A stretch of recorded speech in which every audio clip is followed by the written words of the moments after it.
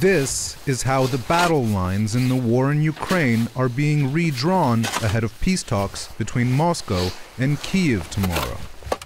These trenches are freshly dug, and there's a reason for that. They're part of a set of confidence building measures that both sides have been enacting ahead of the peace talks. It might sound strange that making new trenches is a confidence building measure, but the idea is, is that both sides are abandoning old trenches that were very close to each other, and now they're moving further apart to de escalate hostilities. These new fortifications are part of an effort championed by Ukraine's President Volodymyr Zelensky to tamp down hostilities in a conflict that's not only taken more than 13,000 lives, but has become the focus of a domestic American political fight. The background is this. In 2014, Russia invaded Ukraine's Crimea Peninsula without much resistance and declared it a part of Russia. Then, together with local separatist forces, it began to battle Ukrainian troops for control over a large chunk of eastern Ukraine. That fight continues in this area to this day. Since the start of the war, America has assisted Ukraine in its battle with its much more powerful neighbor.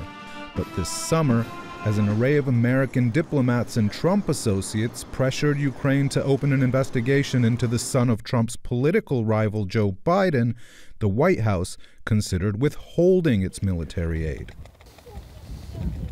The commander at this new position told NewsHour Weekend how he felt when he heard that his country's main military ally could withdraw its support. Our men were saddened by this. It's bad news, especially since we participated in joint exercises with Canadian and American instructors last spring. And there was this spirit of brotherhood with them. So, do you think it influences uh, Zelensky's position in the negotiations with Putin? The fact that now the Russians know that American assistance isn't guaranteed 100%. I'm no diplomat, so I can't say, but it certainly doesn't strengthen our hand. The peace talks, which are to be held in Paris, will feature Zelensky's first ever face to face meeting with Russian President Vladimir Putin, whose spokesman lowered expectations for the summit earlier this week, saying he didn't expect it to result in an agreement. It's obvious that there will be no agreement, and no one expects any agreement. The Ukrainian officer has low expectations as well. Since the start of this conflict, there have been so many negotiations with Russia. I don't feel that something will come out of it. I hope something good will come out of it, but I don't have any illusions. We don't trust the other side at all because this isn't the first ceasefire, and I can't recall an instance where a ceasefire ended in peace.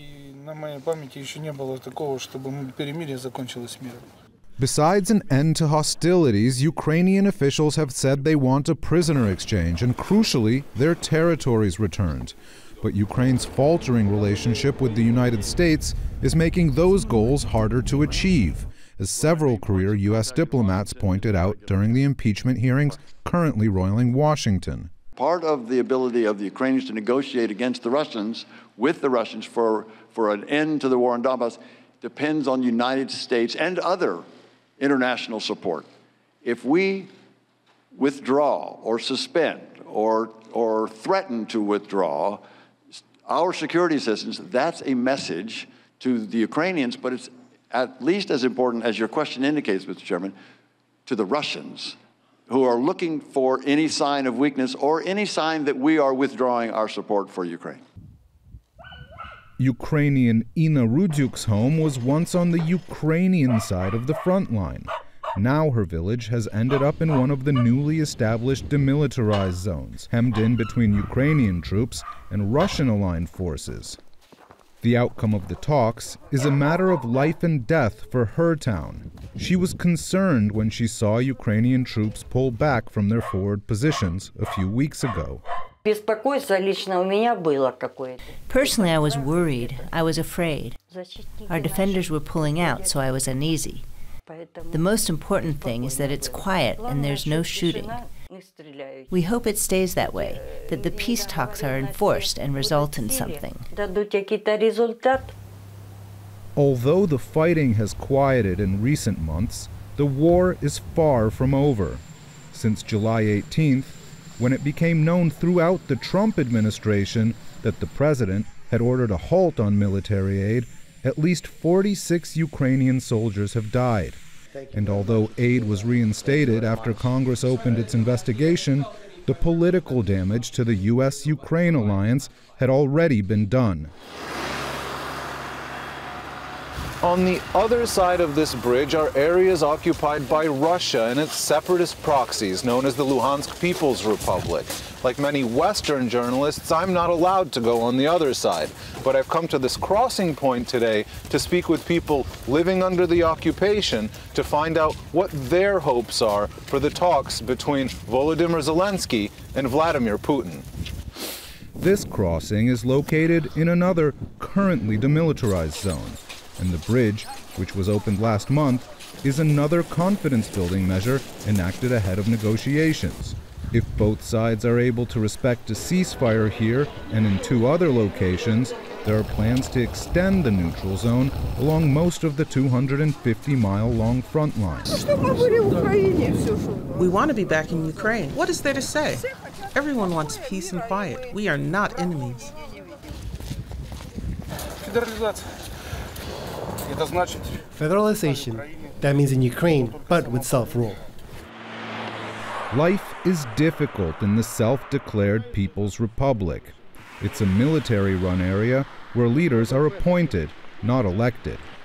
Since Russia established separatist entities in the occupied territories, it has introduced the Russian currency, the ruble, blocked Ukrainian language broadcasts, and quashed any form of dissent. Ukraine still considers the population there to be its own citizens. In order for them to receive social security payments and pensions, they must cross through the demilitarized zone on foot and stand in long lines like this one. Of all the people I spoke with, only this man told us he wanted to see the occupied territories remain outside of Ukrainian jurisdiction permanently. Who the hell wants to walk back and forth like this with bad legs? I should be able to get my pension at home. We want to separate, and that's it. We can't live together anymore. Because reprisals are a fact of life in a conflict zone, only a few people agreed to speak on camera. I'm hoping that the Donbass returns to Ukraine. I liked living in Ukraine. I don't like it in Luhansk. There's food and everything, but it's not like it used to be before the war. I don't like the way they treat people. Let's be honest, things were much better under Ukraine. Ukraine's president won an election earlier this year on a platform of ending the war and has made it his administration's top priority. We need peace. We're working on it. We want a peaceful life. Zelensky, a former TV star, took to social media this week in a video filmed on a treadmill, touting the mere fact that talks were taking place. This meeting is already a victory for us. But with approval ratings slipping, some observers worry his enthusiasm for results means he's willing to recognize Russia's claims to territory in exchange for peace, something he's repeatedly denied. At the end of the day, the cards are in this man's hands. After all, it's men loyal to him that Ukraine has been unable to push off of its territory in nearly six years of war. Has he tired of shedding blood on the other side of his southern border? So far, he's kept quiet on that question.